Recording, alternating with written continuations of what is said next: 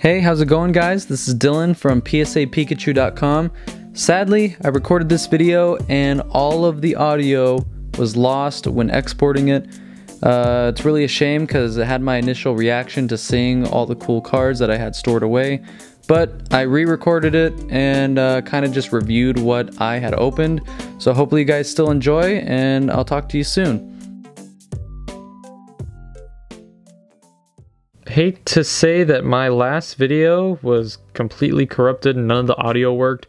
So I'm actually filming this with not a fresh reaction. It's kind of upsetting, but I'm not gonna let it ruin this video. So I kind of just wanted to go over a binder collection that I came across that I had stored away with plans to actually never take out of storage unless it was a financial emergency to me.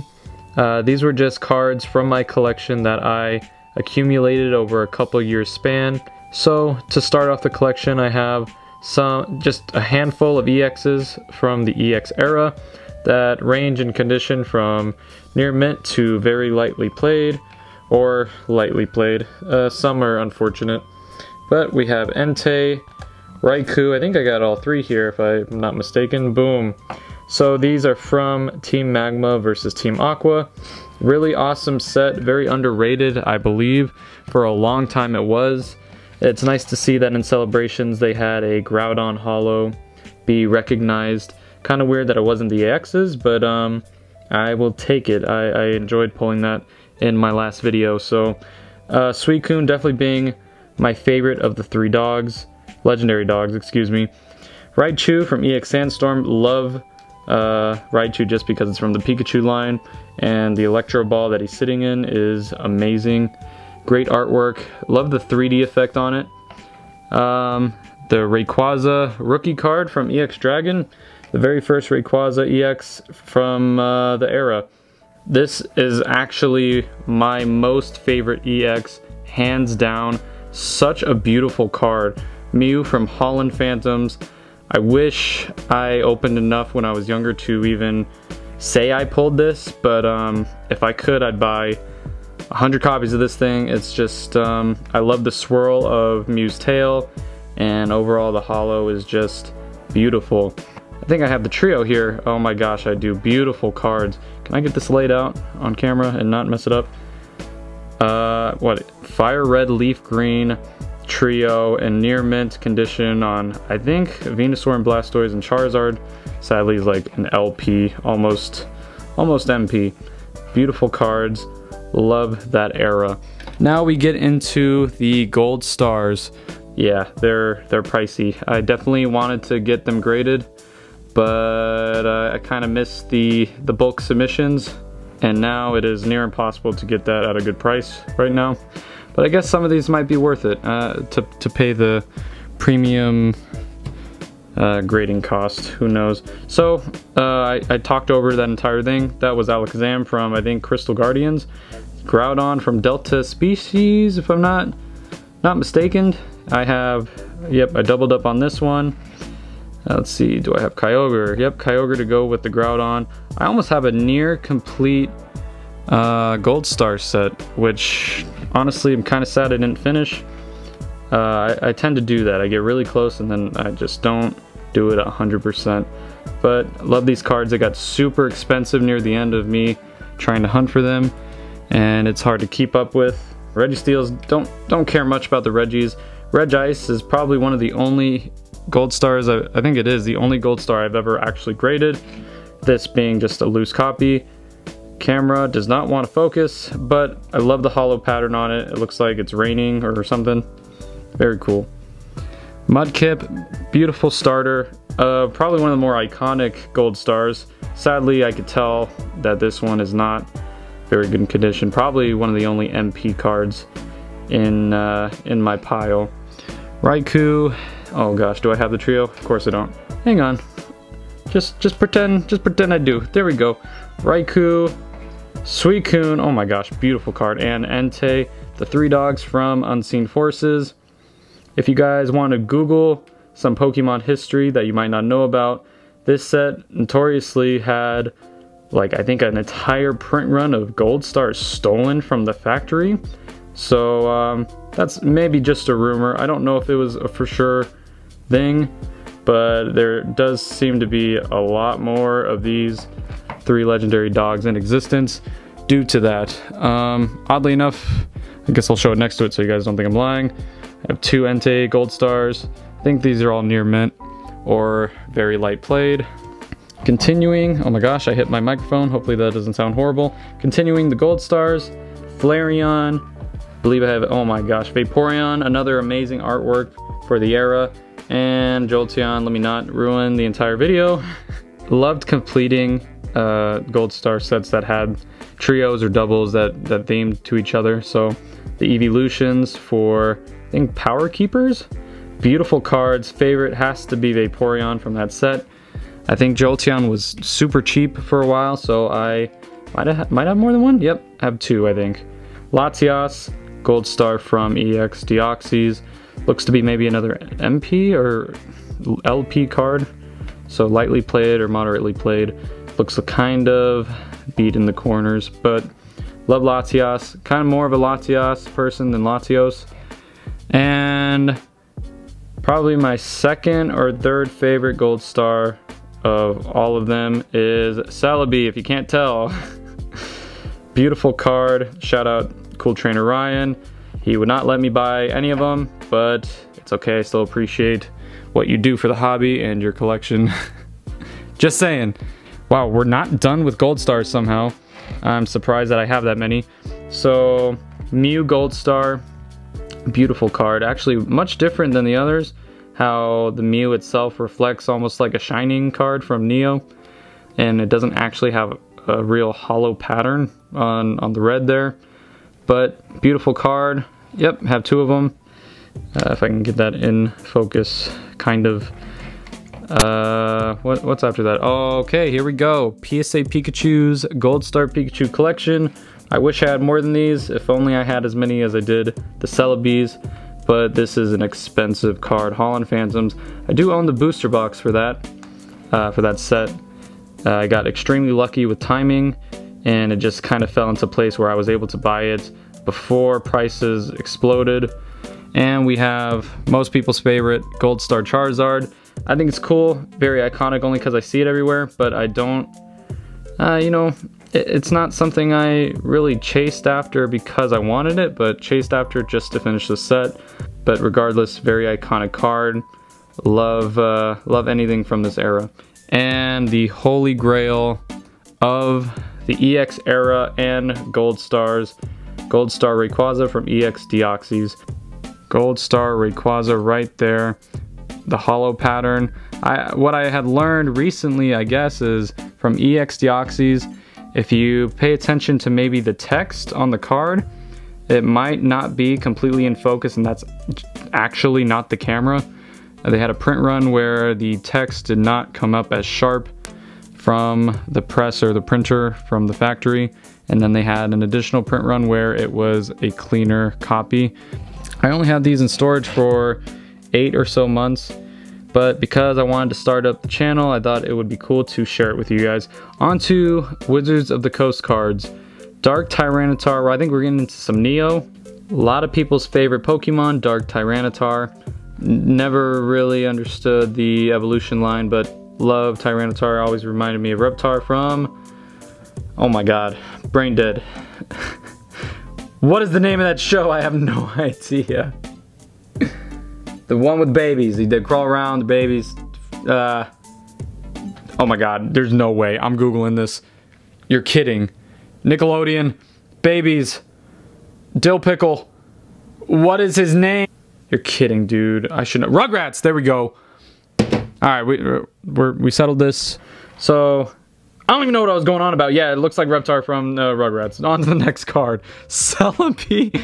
Celebi, uh, obviously, uh, I think this is my sec, it has to be, no, this is for sure my first. It's hard, it's a tie between Lugia and Celebi for me, for legendaries that are my favorite. Many more Celebi cards than Lugia. Um, I seem to have an attraction to the blue cards in their hollow foil, so love the Suicune from Neo Revelation. Think if I did this right, I should have the entire lineup of the dogs once again, which this is the third one we've seen. We saw EXs, gold stars, and here we go, bringing it back even further to its original.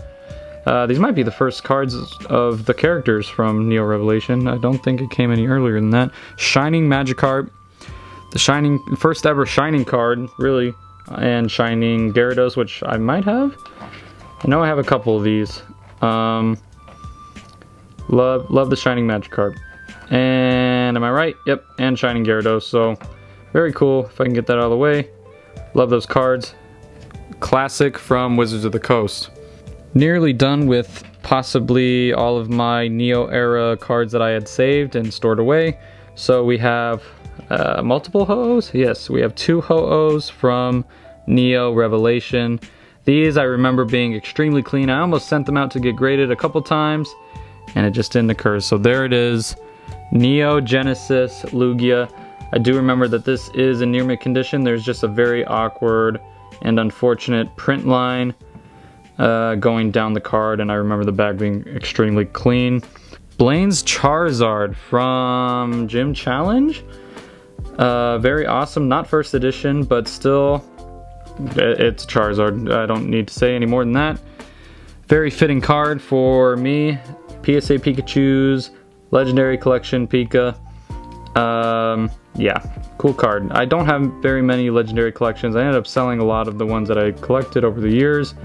Gyarados from, I believe that's Skyridge, just a reverse. Cool card, I think. The only reason it's really in this set that I stored away is because it was minty and possibly gradable, and that will maintain its value over time. Crystal Reverse Golem. I didn't know I had this.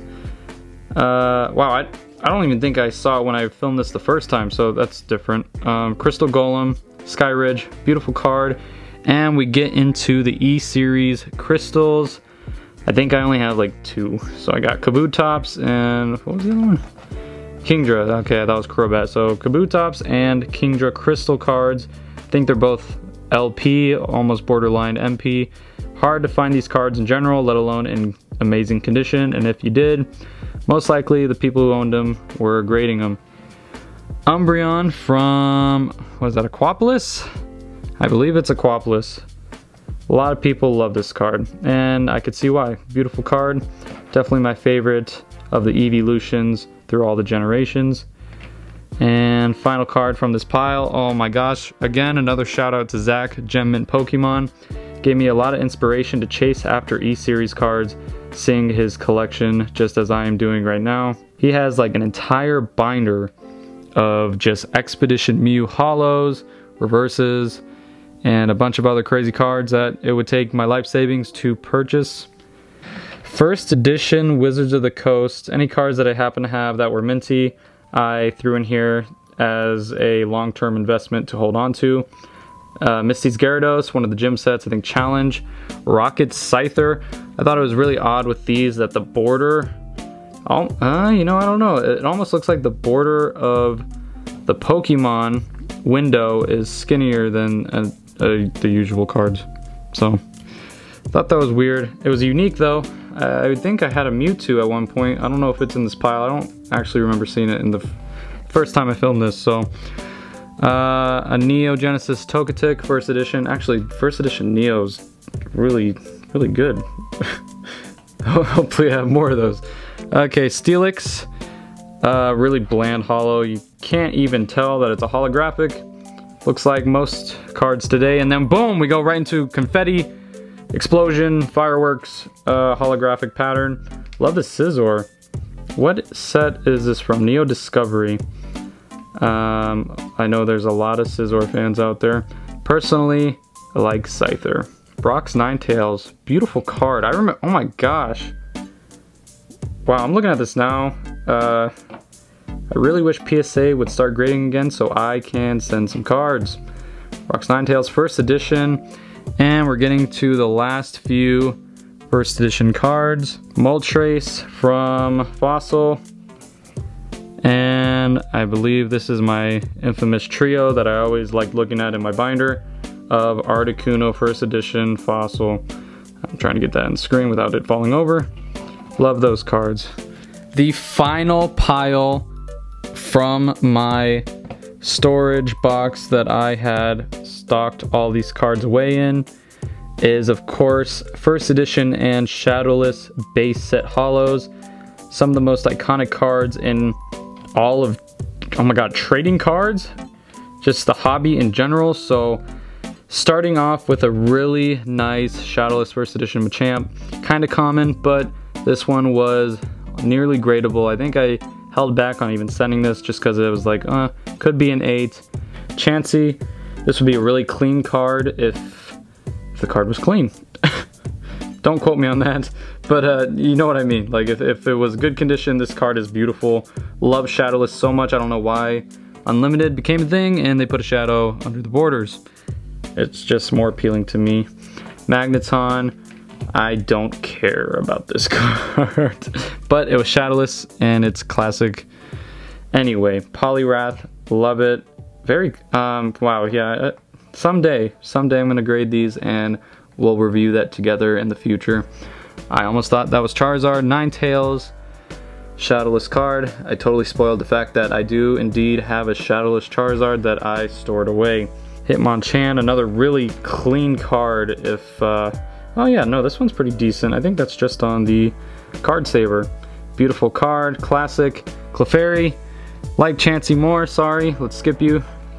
Alakazam, beautiful. Oh my god, I love the purple on this holo. Uh, I forget the term for this. Is it Co It's not Cosmo. It's it's something Galaxy or whatever the name of the pattern is. And to finish it off, this entire video, the most iconic card in the entire hobby, minus first edition, Shadowless base set Charizard. This one sadly is moderately played. Front is beautiful actually, it's just the back clearly from being slid and, and, and played on like game mats or whatever tables. Yeah, so that's about it for this video. I might as well leave this here while I end it off. Thank you guys so much for watching. Tell me, what is your favorite card in all of the hobby? And uh, make sure to follow me on Instagram at PSA Pikachu. I'm exhausted. Filmed this thing like 20 times and my voice is shot. I just dropped the Charizard. Don't worry, that's not hurt. Thanks for watching. I'll see you in the next video.